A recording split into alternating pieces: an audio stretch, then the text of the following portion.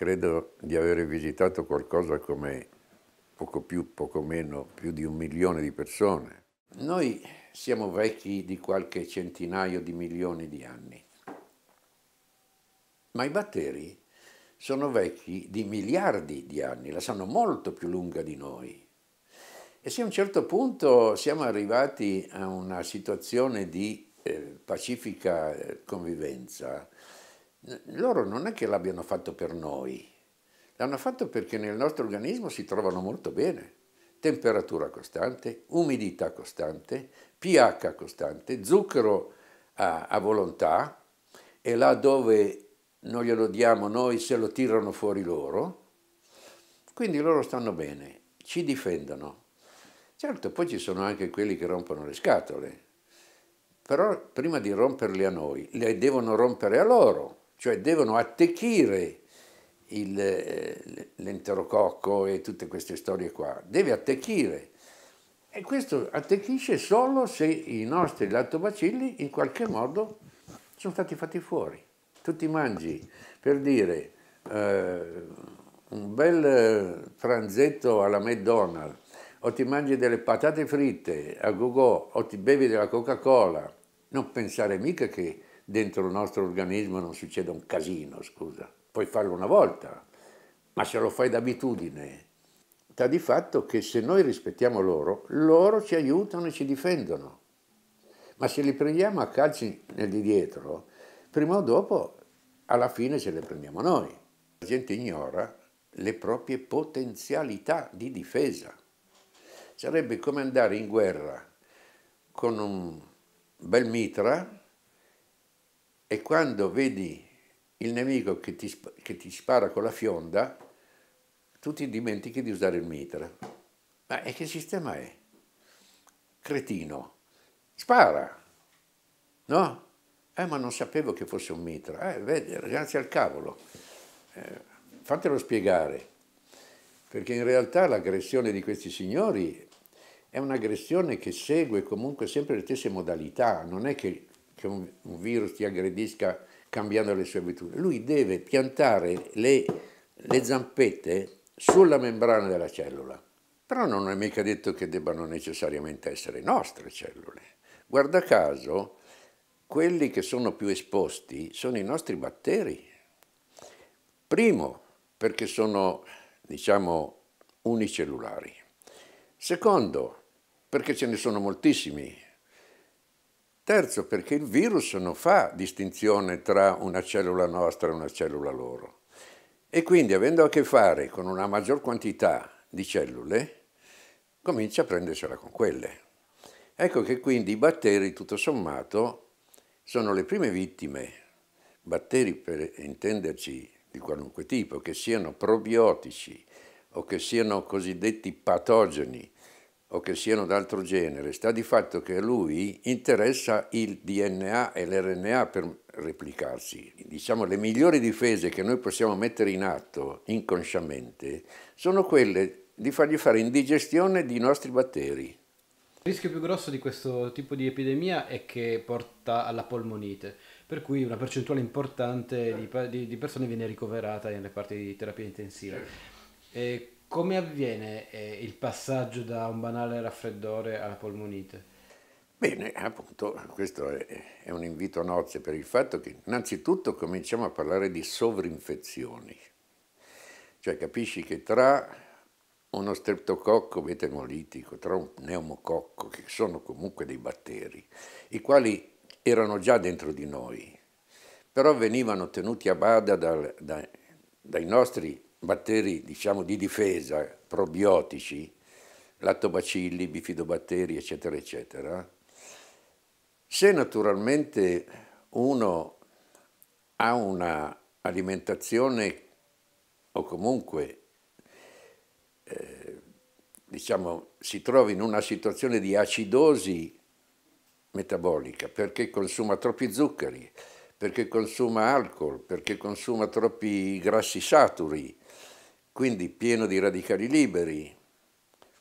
Bene, questi nostri amici che dovrebbero difenderci ovviamente calano e questi batteri responsabili poi in realtà della polmonite batterica in questo caso, perché c'è anche la polmonite virale, ma il discorso più o meno è lo stesso, perché insomma se attecchiscono alle cellule dell'apparato respiratorio, vuol dire che queste cellule sono indifese.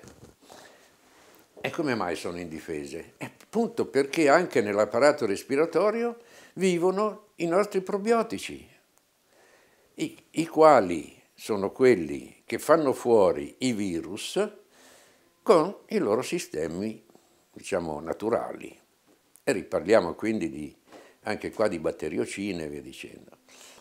Insomma, sta di fatto che per poter rendere ottimali tutte le nostre reazioni, eh, diciamo, biochimiche, ci debba essere un pH neutro alcalino, perché nel pH acido, che in parte noi riusciamo a compensare con la nostra riserva alcalina, ma poi in realtà se noi continuiamo ad accumulare acidi è ovvio che venga indebolito tutto il sistema anche di produzione anticorpale e, e via dicendo, di respirazione cellulare.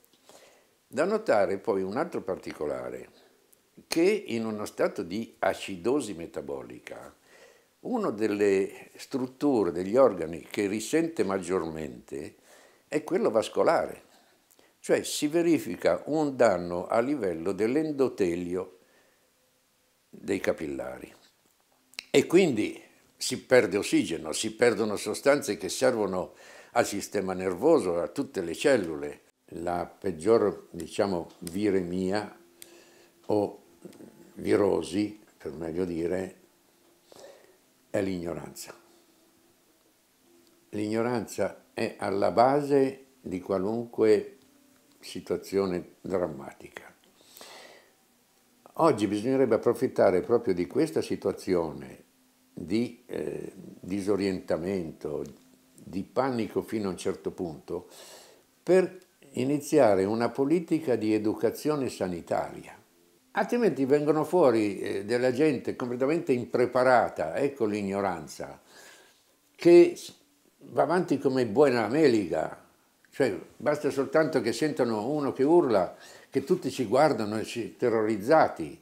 Il problema in questo caso da sapere è che noi possediamo delle difese naturali e anche molto valide. Ripeto, noi come, a parte gli anticorpi, ma utilizziamo l'interferone. Poi ci avvaliamo di questi diciamo, allevamenti di probiotici che eh, possiedono le batteriocine. Poi abbiamo un enzima che ci difende le mucose, le, le, diciamo gli occhi, le lacrime, il naso soprattutto, si chiama l'isozima. L'isozima è un potentissimo antivirale, ma ovviamente è quello che ci permette ogni, in ogni momento di impedire l'attecchimento di queste forme, diciamo, batteriche o comunque virali. Quindi il problema è se, se tu mi, mi, mangi o comunque sei in un'acidosi, in uno stato di acidosi, guarda caso ti si seccano le mucose, ti, eh, diminuisce la lacrimazione e così puoi essere in quel momento aggredito. Poi una volta che il virus è appiccicato, vallo a togliere. Non è facile. Bisogna avere, diciamo, delle eh, in qualche modo delle armi. Bene, non c'è problema. Noi abbiamo eh, soprattutto dei lattobacilli eh, che ci difendono proprio con questi meccanismi da questa iniziale aggressione. Quindi siccome uno dei punti d'entrata di tutte le sostanze, virus compresi, è il naso, è la mucosa nasale, D'accordo lavarsi le mani come ci dicono, però non dobbiamo neanche metterci il dito nel naso per pulire le caccole, perché se facciamo così dimentichiamo che sotto le unghie abbiamo delle colture di, di funghi, miceti, candida, c'è di tutto, che naturalmente una volta trapiantate su un bel terreno, diciamo come si deve, si moltiplicano e quindi aprono la strada a un'infiammazione, a un indebolimento e via dicendo. Così come il, la brutta abitudine di consumare delle sostanze che indeboliscano, per esempio c'hai un po' di raffreddore, ti colla il naso, bene, che cosa fai? Metti eh, della rinazina o metti della roba per impedire lo smoccolamento. Eh, è mica una cosa intelligente. Certo che lo smoccolamento per un po' eh, diminuisce, ma in quel momento lì è lo smoccolamento che porta via della roba e, e, quindi tu impedisci. Sarebbe come se ti scappasse di andare di corpo che in quel momento lì eh, ti metti un, una supposta di legno. Eh, insomma, a un certo punto i sistemi che attualmente noi abbiamo per difenderci da qualunque tipo di aggressione devono necessariamente appoggiarsi sulla implementazione di questi probiotici. Oggi ne parlano tutti, sono contentissimo che lo facciano, però li possiamo utilizzare nella profilassi. Capisci? Cioè, a un certo punto si sa che queste virosi hanno delle abitudini stagionali, bene, noi cerchiamo di metterci in qualche modo di ripararci assumendo queste sostanze. Non dimentichiamo poi l'azione della vitamina D. La vitamina D, d'accordo, è un binomio, la D3 con l'osso, va bene. Però non dimentichiamo che la vitamina D contribuisce alla attivazione e eh, potenziamento di tutto il nostro apparato linfatico. Cavoli, in un caso di ipovitaminosi da D è molto facile che ci siano delle, dire, delle porte di, di accesso che non dovrebbero esserci. Quindi il problema della diffusione in un caso di, non dico pandemia, però è la dimostrazione classica della mancanza di determinate sostanze che in qualche modo rendono il virus aggressivo nel senso che trova materiale da, da, da ciucciare, da, da mangiare, là dove viceversa quel materiale sarebbe diciamo inutilizzabile. Quindi come vedi si parla di vitamina D, si parla di lattoferrina, si parla di batteriocina, si parla di risozima, si parla di interferone. È tutta roba che noi possiamo tranquillamente trovare, utilizzare per rendere difficile la vita al virus. Ora, che cosa posso fare io come medico, come faccio di solito con i miei pazienti? Li metto al corrente delle cose che conosco per poter far sì che loro stessi facciano qualcosa per se stessi, che non si aspettino soluzioni, diciamo, da, dall'alto. Quindi la, la, mia raccomandazione è, d'accordo, laviamoci le mani, che poi anche lì eh, avrei qualcosa da dire su questa diffusione della mucchina e questa diffusione via dicendo, perché in realtà gli unici nemici dei batteri o dei virus sono i nostri batteri. E quindi quando ti, noi sulle mani, su tutto il corpo, abbiamo dei batteri potentissimi che ci difendono, ma se tu me li ammazzi, eh, non fai altro che facilitare le cose al virus. La persona, in quanto paziente o comunque individuo, deve sapere che cosa deve fare non chiudersi in casa, bloccare il lavoro e via dicendo. Cosa deve fare?